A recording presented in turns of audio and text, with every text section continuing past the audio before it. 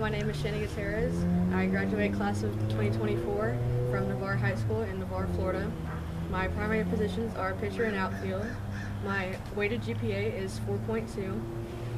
Thank you for watching and I hope to see you soon.